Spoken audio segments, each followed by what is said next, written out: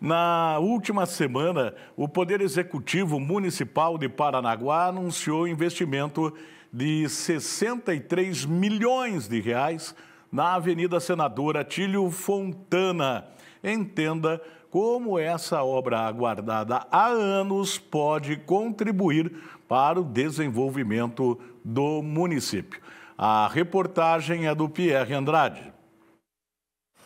Avenida Senador Atílio Fontana, cidade de Paranaguá.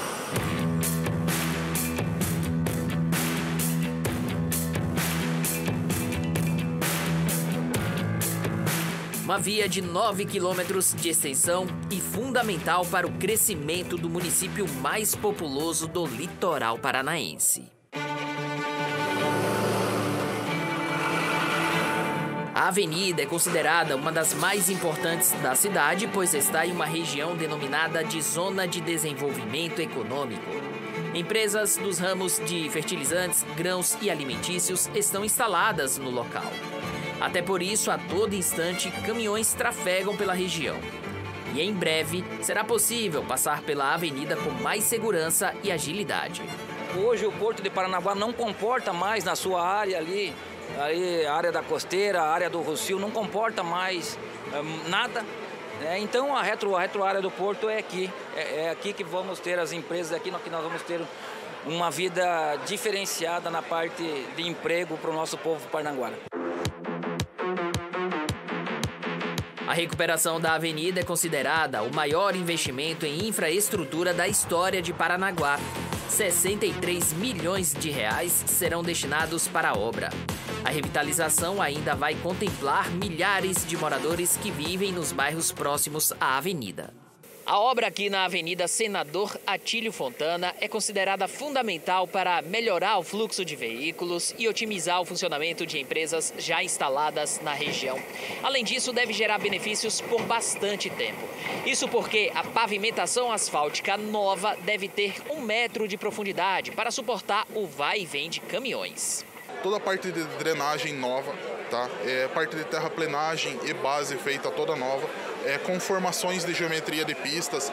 Então a gente tem diversas curvas ao longo do trecho que hoje o motorista acaba não percebendo, mas vão ter que ser feitas com cuidado para não gerar nenhuma insegurança para o trânsito é, toda a parte de pavimentação compatível com o trânsito que a gente tem aqui.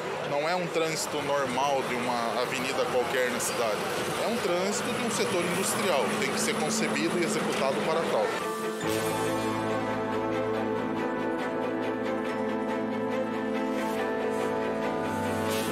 É a base de um, quase um metro de, de espessura, o asfalto a espessura é, é, o dobro daquela que se usa numa via, numa via normal. É, ciclo, ciclovia, que é importante também de segurança para os nossos, para os nossos moradores aqui da região. É, a obra que eu falo que vai gerar emprego e renda, mas também vai dar tranquilidade de ir e vir das pessoas que moram aqui na Santa Maria, as pessoas que moram no maior bairro que nós temos de Paranaguá, depois da Ilha dos Valadares, que é, é Alexandra. Após a revitalização, é possível que outras empresas tenham interesse em se instalar na localidade, o que pode elevar a geração de emprego e renda.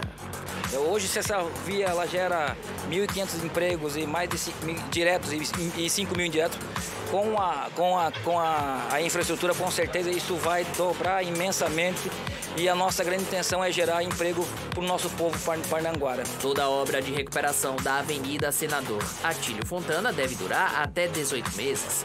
Um consórcio composto por três empresas, sendo duas delas com sede em Paranaguá, ficará a cargo dos trabalhos.